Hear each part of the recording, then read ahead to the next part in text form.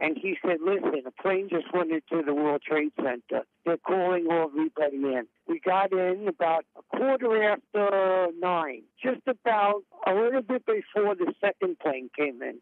G'day, and welcome to Wellbeing. I'm Jack Hodgins. Today we are talking with Mitchell Stern, a paramedic who received PTSD as a result of 9 11. Mitchell joined the EMS in 1974 and went on to have a decorated career in the paramedic field. Prior to 9 11, Mitchell was involved in responding to the 1990 Happy Land fire and many other well known New York accidents. When the World Trade Center collapsed on September the 11th, 2001, Mitchell was assisting in an ambulance which was partially crushed by the wreckage. PTSD has been with Mitchell ever since that day, and in this episode he explains now how he lives with it. He also goes into vivid detail of his 9 11 experience and situations from his career. Hello, Mitchell, and welcome to Wellbeing. I got involved with, I became an EMT in 1974 and a paramedic in 1977. In 1977, I had a kid before there was ever PTSD or anything. I came across a kid that the car was on fire in an expressway accident, and he was trying to get the people out and they actually burned alive. He was so distraught. I took him to Bay Ridge Ambulance Quarters, and I made him call his mother, and I sat with him for an hour, and the kid did very, very well. And then I was at the Happy Land Social Club. There were 88 people that were that died of smoke inhalation. It was a club in the Bronx, and they were all dancing, and the guy got mad about his girlfriend. He set the stairs on fire, and there was no other way out. I was the only EMS person that went inside the building with the fireside and pronounced all 88 dead. And then they wanted a way how to how to show them to the families. So I said, break through the wall, which went into the body shop next door. We'll put them all in body bags. EMS members will clean up their faces because they all had certain smoke inhalation, and then take pictures of them, and then bring them all to the school and let the, the families identify them. And that's how they did it. I mean, it was four to four people. You couldn't step without stepping on a body. Over my career, I've delivered 37 babies. I worked in the worst neighborhoods of the city during the 70s and 80s. I was the first paramedic unit down in Coney Island area. I was at 9/11 where I broke my neck and I wound up getting cancer of the gallbladder. I suffer from PTSD. I know when Florida had Surf City, when the building collapsed, it brought back a lot of memories. In my career, I've seen everything. Uh, I got stabbed with a screwdriver. Um, I worked in the worst of worst neighborhoods you've ever believed. Uh, I became a, a lieutenant in 86 and a captain in 96. I was the commanding officer of the of 900 people that was made up the EMS dispatch operations.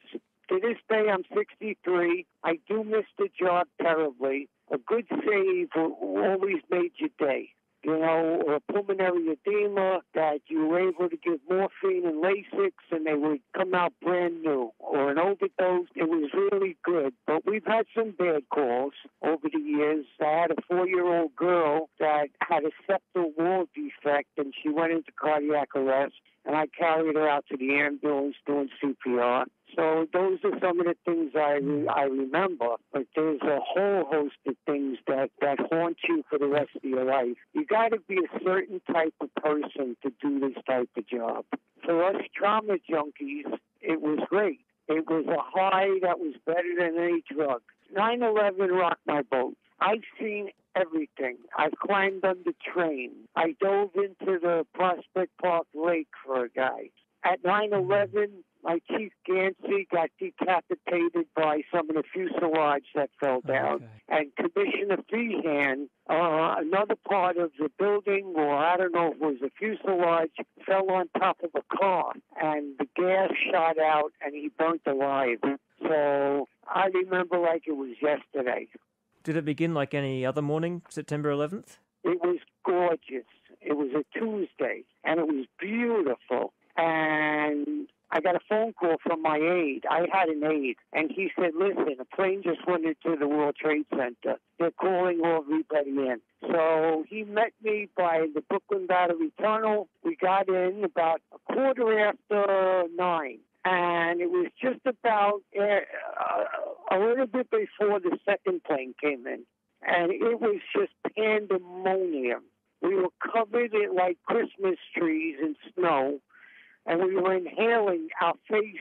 It's like throwing lime of cement in your face. You know, you were breathing in the stuff, and it was choking you up. And we were wearing our shirts or trying to cover our faces it got real bad. At one point, I was in charge of the treatment sector, and they brought out a burn victim. And the guys there were pretty scared, so I went in the ambulance with them, and I was trying to intubate her. And by that time, the North Tower collapsed.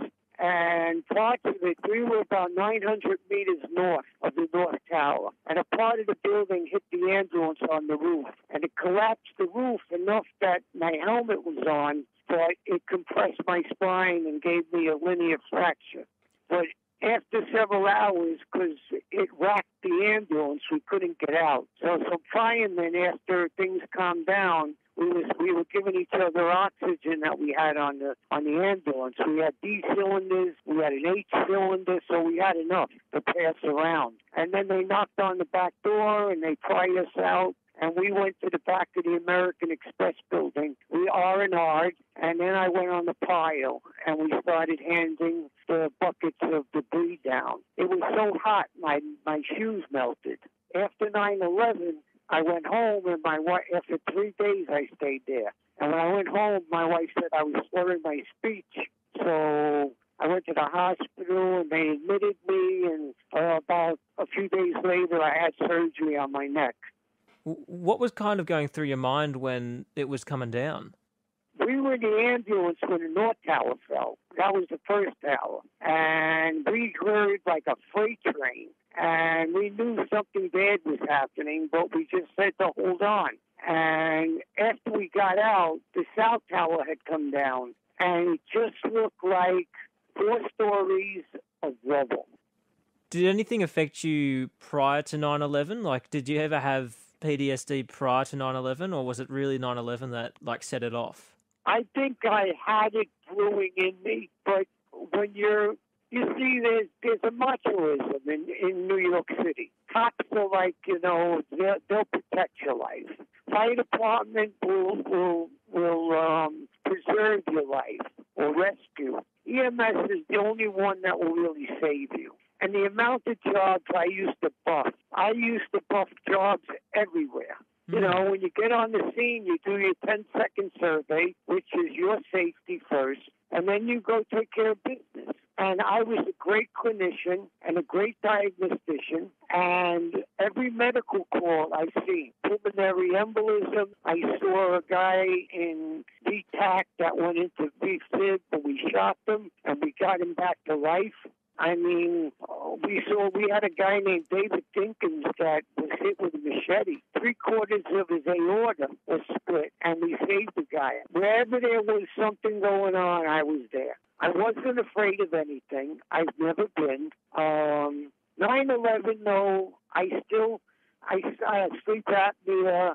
I take Ambien to sleep at night, and and uh, melatonin. I have these terrible dreams. I see a therapist for the last 17 years. And out of 9 11, I got cancer of the gallbladder. I had a polyp, and they took out my gallbladder. I have constant sinusitis, rhinitis, my deviated septum, and I got scabs, and it's hard to breathe. I'm on several nose uh, sprays and uh, ear. I think when the pressure came from the building dropping, it popped my eardrum. So I take eardrops. Um, I got uh, Barrett's esophagus. I got gastritis, duodenitis, and I'm on a pill right now. My doctor gave me yesterday, hoping that I don't have pancreatitis. You're listening to Wellbeing, a nationally distributed radio show and podcast. My guest today is Mitchell Stern, a paramedic who has PTSD as a result of the 9 11 attacks. What becomes harder to do in daily life when you do have PTSD? You know something? There's really, I speak to my therapist. The fire department has a counseling unit now, and I've been going for 17 years, and I speak to my therapist about my dreams and about if I see a show and like it bothers me and I wake up sweating or I, I wake up in the middle of the night thinking that I'm not sleeping. I go through a lot of that even to this day. And it's 20 to 21 years ago. Mm. I always have something. If I see an ambulance somewhere, it's like my nose goes up. I gotta go see what's going on. Mm. I keep a medical gear in my trunk just in case. But but 9/11 was so overwhelming. It, it, it got to your core sense of, of your ability to live. I mean, I've thought of suicide many times. Sometimes I think, you know, you're laying in bed, you wonder, you know, did you hmm. did you fulfill your mission in life? That's what you ask yourself sometimes. A lot of guys do. I belong to a group of guys, a PTSD group. We talk about jobs, mm. you know, mm. That, you know that that that still sit in your head. You know, like the other night they had that kid on on Chicago Med that drowned in the pool. They got him out and they got his heart started. And in the ambulance, he went into a secondary cardiac arrest. And I had a job just like that. You know, we had a lot of drowning, kids falling in pools. I, I, I mean, I've had thousands and thousands of calls in 30 years. And I'll tell you something else. I used to make 37000 as a medic and I made ninety-two thousand one year. And me, a cop, and a fireman made the newspaper because they wanted to know why we made so much money. Why did the city not cut us off? But I worked doubles. I used to take late jobs. I I lived for it. I moved out of my house when I was seventeen. I had a monster father that was terrible. He was with the Gambino family, okay. and he used to beat me and my brother when we were kids. So I moved out at 17. So I was working all along. I got hired at 17 on March 24th, and I turned 18 June 12th. I was the youngest guy ever hired to EMS. I worked through AIDS epidemic, mm. and back when I was on the ambulance, we didn't have the PPE that they have today, the gloves, the gowns, the face masks. We didn't have that. The more blood you got on you, the better job you had. I had a guy one time that was held up in his drugstore or his uh, bodega, and he got shot in the cheek. And I didn't understand why this guy was in cardiac arrest. So we worked him up. We started two IVs. We got him to the hospital. And every week we would have continuing medical education with the doc. And he told us that this guy's bullet during the autopsy crossed his over through his mouth and hit the internal jugular vein and the carotid, and he bled into the supraclavicular area. That's where your shoulder blade is. Right underneath there, there's a little. If you put your fingers by your by your shoulder blade and touch the bone, your humerus, that's where he bled into. And I couldn't figure it out for the life of me. I thought maybe the bullet transposed into his chest, you know. But today, there is so much more new equipment. I mean, the ambulances got sonograms, so I can look in your belly and see if you got fluid in there. I mean, we have 12 lead EKGs. Where back my time, there was only three leads. And if you want to get a different reading, you'd have to move one of the leads over so you could see the EKG in a different light and see if you can diagnose what they call a STEMI, which is a heart attack. But now with the 12 lead EKG, and we have also um, transproteinase inhibitor, which block, you know, it, it, will get rid of a clot. So if I diagnose you with chest pain and sweatiness, and I see that you have a, a clot in your left ascending uh, aorta or your left ascending cardi- coronary artery, I can give you, you know, TPA, and I can save your life because I can bust up the clot.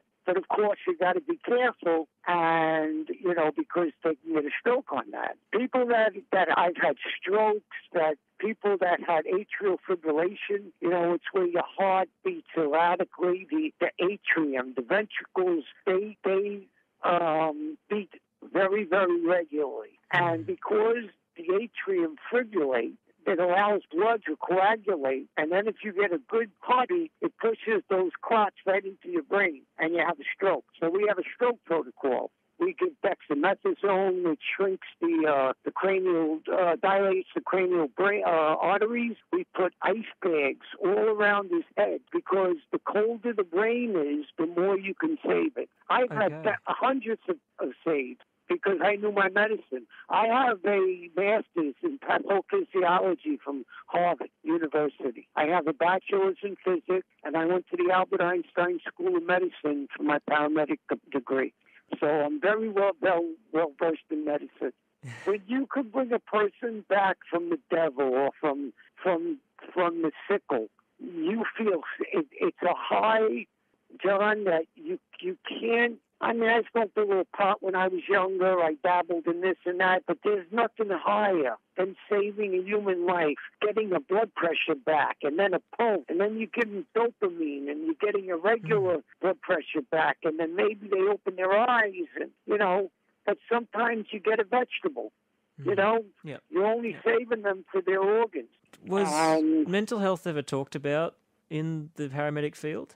Mental health did not come in until about let's see i became a lieutenant in 86 right before 86 about 84 they created a peer pressure where there were ems members that got training in ptsd peer support, um, bad calls, how to deal with them, how to deal with the employee, you know, what to say, what not to say. And then came the fire department's version, which is great. There's a counseling unit in every borough in New York. Hmm. After the third day when I came home, what happened was we had a lot of influx of all these volunteers from around the country, but they weren't professionals. And if they heard a creak or a crack or maybe the buildings were settling, they ran off like a stampede. So I got caught up in it. And I rolled down four stories of, of garbage. I lost my glasses. I twisted my ankle. And that was the third day. I said,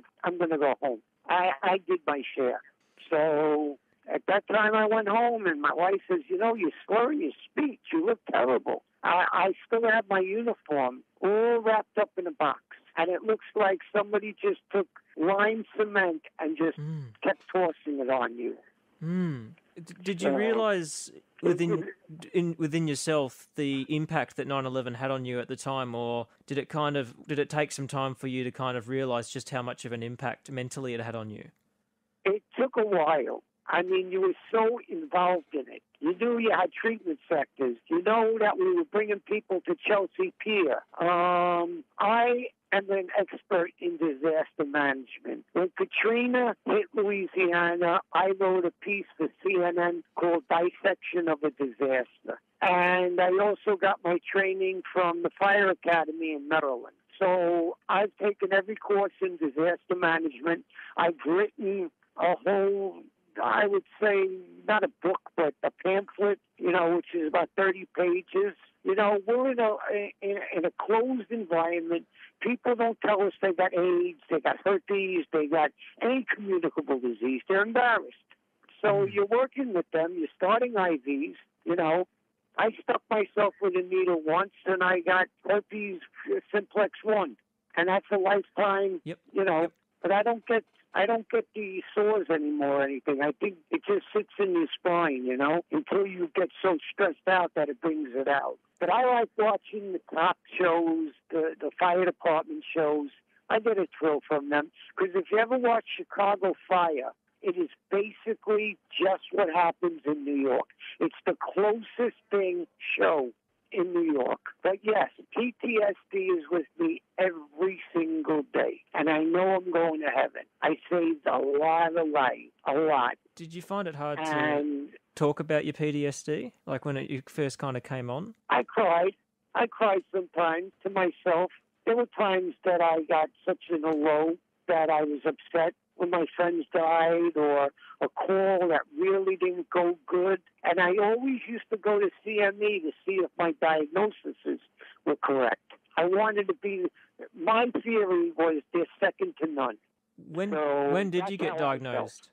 With what? PTSD? Yeah, yeah, yeah, yeah, yep. to two months after the incident. I saw a psychiatrist. I saw several psychiatrists. I'm on right now Lexapro, Seroquel, Abilify, clonazepam, which is anti-anxiety, and I go to sleep at night with clonazepam, Ambien, and melatonin, and my CPAP. And hopefully I'll get a good rest. You're listening to Wellbeing, a nationally distributed radio show and podcast. My guest today is Mitchell Stern, a paramedic who has PTSD as a result of the 9 11 attacks. Did you find it at first h- mm-hmm. hard to admit to yourself that you had PTSD, or like, what was the story there? No, I, I, I knew I was depressed at times. I know what depression looks like. I know what it feels like. And when I started feeling it a few months after, I sought out Dr. Ira Drower, and he's now in Israel. But he was great. He walked me through a lot. He said, you know, I'll tell you a little story back in the 80s, when I was uh, early 80s, when I was on the ambulance, I had a partner named Mark Michaels. He was a Jewish kid, and his parents wanted him to be a doctor. So he went to take the MCAT, and he failed. Well, the next day, he called me that night, and I was young. I had smoking pot. I was with a girl. I said, Mark, can I talk to you tomorrow? He said, because I'm off. He says, I really like to talk to you, but I kind of blew him off. The next day, when I went to work, I was with my third partner. There was three on an ambulance, and we got a call that medic, uh, a brown Buick with a Medic 7 license plate has been found with a DOA inside. And my partner killed himself. He shot himself three times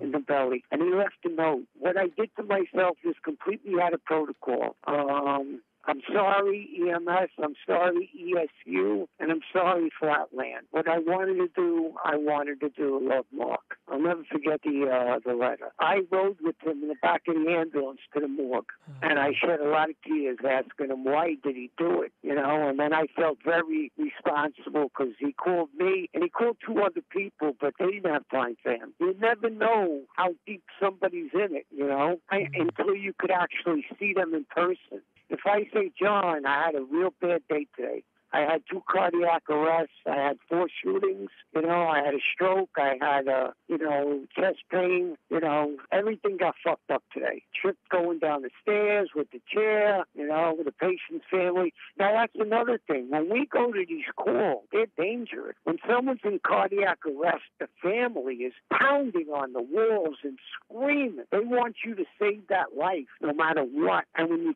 can't, you got to pronounce the person there inside the house. Outside, you take them to the morgue. I got a I got a city um, award, employee of the year. I had a mafioso guy shot three times in the head, three in the chest, and the family was outside screaming at, and they were, you know, they wanted to know, you know, they started yelling at, you know, do something, do something. So we did something called a cosmetic job. We knew he was dead, but when we put him in the ambulance, we put him into Bay Ridge ambulance. They were on the scene. They were a volunteer, and we had a black book.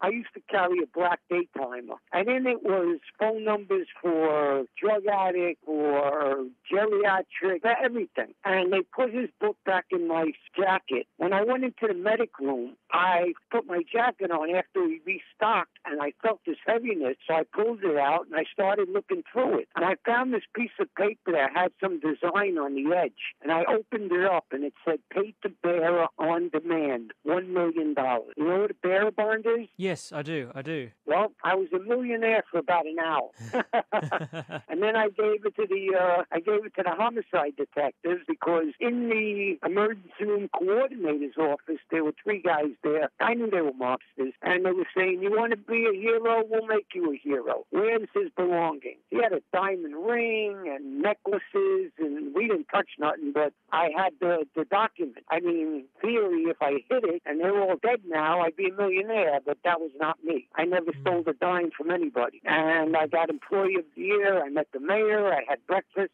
I was one of the good guys. And I was at the Waldorf Astoria with Ronald Reagan. I met him in the morning. There's a picture of my career there, shaking his hand. I met Chancellor Schmidt of Germany. I met Nelson Mandela. I met uh, President Carter. there was a lot of dignitaries, and I worked. I got the, uh, you know, I was in the movie The Siege with uh, Denzel Washington and Bruce Willis. Okay. Remember that movie where the yeah, I'm the guy carrying the woman down the stairs from the exploded uh, theater. Okay. I got my Screen Actors Guild card. Did you ever feel like with the PTSD that you wanted to stop having it, but you just couldn't? You can't stop it. You can't. It's always in your mind. If you see something outside, it might be a trigger. If you're just dormant and laying in bed watching TV and something comes on that triggers, there's a lot of trigger modalities. That's what they taught us. And we were supposed to stay away from them if we can and take our medications religiously. What are some things that a family member or a friend can do that can really help someone that has PTSD? Uh, show love, um, show respect, I guess. I mean, to my kids, I'm their hero. I mean, because my mom and my wife used to ask me about my day, and I would, you know, regurgitate it. And um, to my kids, I'm their hero, and uh, I don't think you ever get rid of it. I think it's something that that's lasered into your brain, you know. And when you see a show that sparks something or triggers, there's a lot of triggering mechanisms. I might see a car from a car accident, but not nothing going on. It's just all banged up, and think of one of my car accidents Mm. you know, that I had. I've been on train derailments. I've been, oh my God, bus crashes. I everything, anything you could name. I was at one of those scenes. Guy jumped out of the G building, Oh, okay. which was the Psycho building, landed on the picket fence. We had to cut the picket fence to get him into surgery. From this interview, for the people listening, what would you want them to take home from this, like out of everything here? Like, what would be the take home message for them? That this is a very special job that not everybody's cut out to do. And it does leave you scarred, no matter who you are, if you're the strongest guy in the world or the weakest guy in the world. When you do a job like this, it ingrains into you some of the things that you've seen throughout your career, or if you happen to be involved in a mass casualty incident, you will never forget it. Never. You can recall these type of things like they happened five minutes ago. It was really good talking with you today, Mitchell. Thank you for really taking the time. Be safe, be healthy, and be blessed. My guest today was Mitchell Stern, a 9 11 survivor and paramedic with a PTSD journey. Tune in next week, where we talk with a mother of a daughter who has PTSD. And if you like this content, check out the Wellbeing Podcast for more. Thank you for listening. I'm Jack Hodgins, and all of us at Wellbeing wish you well.